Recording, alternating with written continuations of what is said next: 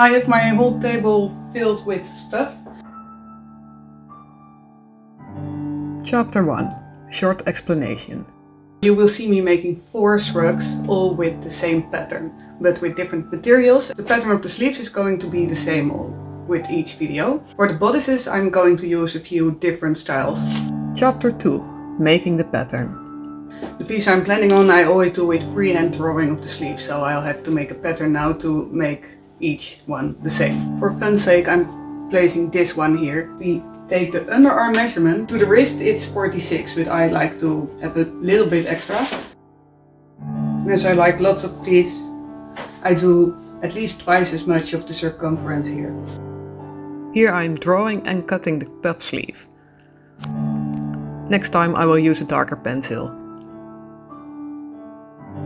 I pressed it a while before using the pattern. Chapter 3 Cutting Drawing and cutting out the red pattern on a red jacquard fabric. This is a trick of mine. The spare fabric that you have of a specific fabric, fold it in the fabric. This white sturdy lace I use for the cuffs. Then we have the hand test, because it will be a closed cuff. Your hand needs to fit through. The second one. Oh, a synthetic blend, supple, structured fabric with a little stretch. Vintage lace. Je vous présenter. Next one, thick stretch lace, which is very structured. This is such a cool fabric. I can very nicely place it here, so I can spare as much fabric as possible. For this one I had this lace. And then we have our most supple fabric.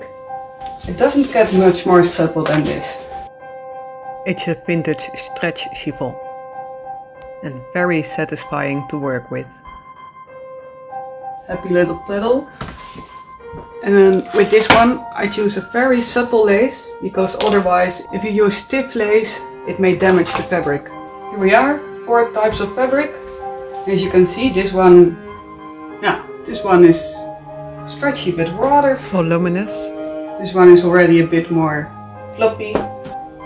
And this one if I, uh, yeah. Chapter 4 Sewing the red shrug. Important. Also. Here I start sewing the bodice together. After this I pleat the sleeve ends. Other direction for the other side and I thought this was important. Then the cuffs and the vintage red lace goes around the bodice. Mirrored it and pleating on the smaller version of it on the other side. It's a very stiff lace that gives nice ruffles. Sewing the cuffs on, a nice trim, sewing the sleeves, and at last I sew in the puff sleeves.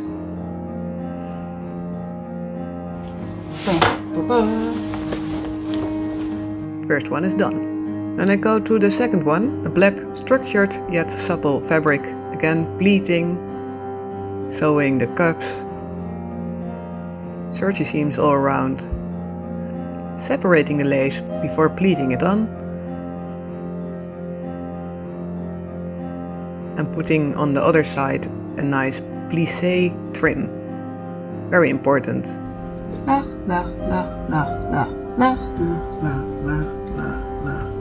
To make sure it's symmetrical. And here I'm inserting the puff sleeve. The second one is done. Going to sewing the black lace shrug. Again pleating the sleeve end. Pleating the other way around. Putting it through the serger all is going well. Pleating the scallop lace around the bodice. I'm giving it super dense pleats, this one. And another scallop lace, smaller on the other side. There goes the cuffs again. And a nice broad lace trim. There goes the sleeve. And inserting the puff sleeve. La, Yeah. Sewing the chiffon thread. I can fit the whole fabric of this piece in my hand. It's very hard to see which side of the fabric is the right one, but I find it very important to get it right. And there we go. Last one through the serger, making all seams with dark grey threads. Happy little pleats. What happened to my second camera? Oh well. The cuffs, very, very nice lace trim. Mm-hmm. I see a dying plant. I got to rescue it. I rescued it, and then I finished the shrug. Cute stretchy soft lace around the neckline. Again, make sure everything is soft when you work with this fabric. And there goes the last puff sleeve. Now we have four happy puddles. And now I will show the end results. Chapter 5 The results on dress form. Here is the lace one. What is nice here is the very stiff pleated vintage lace, which gives a lot of volume. You can see that well from the side. This lace is for a lace quite stiff, the fabric. This is the second all black one.